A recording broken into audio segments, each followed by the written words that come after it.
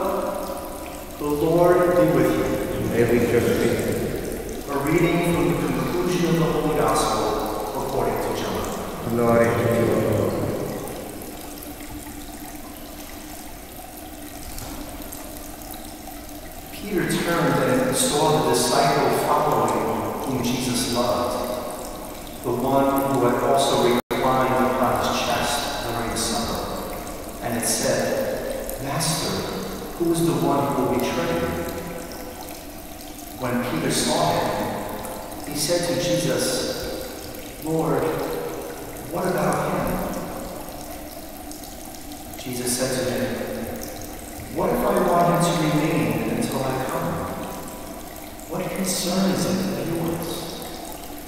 You follow him. So the word spread among the brothers that the disciple would not die. But Jesus had not told him that he would not die. Just, what if I wanted to remain until I come? What concern is it of yours? It is this disciple who testifies to these things written. And we know that his testimony is true. There are also many other things that Jesus did. But if these were, were to be described individually, I do not think the whole world would contain the books that could be written. The Gospel of the Lord. Praise to you, Lord Jesus Christ.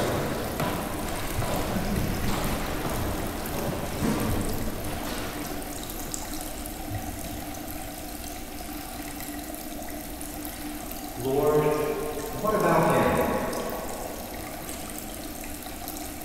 Peter is the unquestioned leader of the apostles, the rock on which the church would be built, and he would go on to become the first pope. But in the verses just before today's gospel, Jesus gives Peter a prediction of how he will die. Peter is probably wondering if Jesus also has a grueling death plan for John. And so he asks, Lord, what about him? I know that at times I have the Lord, what about him mentality. The one where I think others have it better than me. This tempts me to look down on what God has chosen for me to experience and turns my attention to the other person. Do you find yourself getting caught up in what others are doing? Or do you have a tendency to compare yourself to others? I know I have struggled with these things. Comparing ourselves to others is a recipe for unhappiness and often leads to sin. If we put the other person above us and think that they are better than us, jealousy often sets in. We might be jealous of what the person has, who they are, the gifts they have, or what they are doing. Wouldn't my life be better if I had his job, or her money, or his house? Wouldn't I be happier if I could do what she did? Sometimes we may resort to gossip about a person. There is a hint of that in the gospel as word begins to spread that John will not die. Of course, Jesus didn't say that, but the rumor mill is already in motion. If we put someone below us thinking that we are superior to them in some way, what happens? We get puffed up maybe even arrogant, prideful, and we become judgmental sometimes of this person. This kind of thinking is at the heart of many forms of When we regard others as inferior for any reason, we ignore the fundamental truth that because we all share a common origin, we are all brothers and sisters, equally made in the image of God. So, what are Jesus' thoughts about us comparing ourselves to others? What should we be doing instead? The gospel gives us the answer. What concern is it yours? You follow. There is one thing that you are better at than other people being yourself. The Lord wants us to focus on being a better version of ourselves and to follow Him. And He gives us the gifts to make this possible. Tomorrow we celebrate one of these gifts with the solemnity of Pentecost, where God pours into our hearts the gift that contains all other gifts, the Holy Spirit. Included with that gift is the fruit of the Spirit, as we hear in St. Paul's letter to the Galatians love, joy, peace, kindness, generosity, faithfulness, gentleness, self control. Holy Spirit assigns these fruits and gifts to each of us as He chooses, and they equip us for our journey of discipleship in following Christ. Each of us is a beautiful and unique spiritual fruit cocktail, a one of a kind, never before seen, and never to be repeated concoction and blend of gifts to carry out the special responsibilities God is asking of us. Let us ask the Lord to accept our spiritual fruit cocktail with a sense of contentment and gratitude.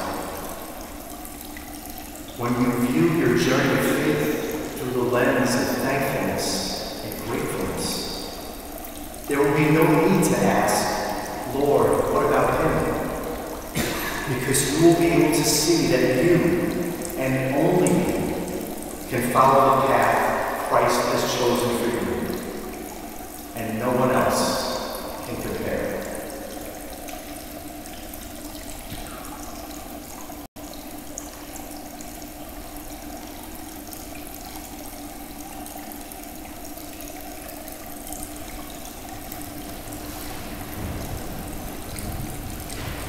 Let us place before God our needs and the needs of all people as we prepare to end the Paschal season. For our holy Catholic Church, may we remain in Christ and become fruitful branches of the true vine. Let us pray to the Lord. Lord, we are For our national and local leaders, may God help them hear and respond to the cries of those most in need. Let us pray to the Lord. Lord, we are For the anxious and sick, may God protect them and grant them full health of mind and body. Let us pray to the Lord. Lord, we are For this community of faith, may God continue to draw us to Himself and bring harmony and peace where there may be division. Let us pray to the Lord. Lord, we are For all who have died, may they come to experience the fullness of joy in the presence of the Lord for eternity. Let us pray to the Lord. Lord, we are And for the repose of the soul of Mary and Rita Young, remember especially at this Mass. Let us pray to the Lord. Lord, we are For the needs we hold in our hearts and for our friends who have special needs. Let us pray to the Lord. Lord, we are Merciful Father, receive the prayers of your people. Hear and answer them according to your will. Through Christ, our risen Lord. Amen.